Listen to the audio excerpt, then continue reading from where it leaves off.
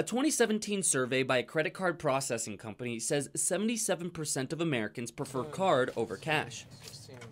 But that increases the possibility of credit card fraud and a method of fraud known as skimming. They are able to receive your data as you scan it. They can take a encoding device and a magnetic strip and make an exact duplicate of your credit card within seconds.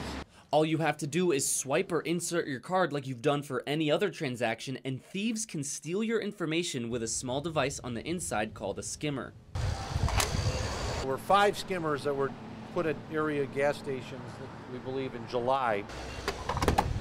Those gas stations were in Tonawanda, Amherst, Depew, and Clarence. Experts say thieves target gas pumps because they're easy to tamper with.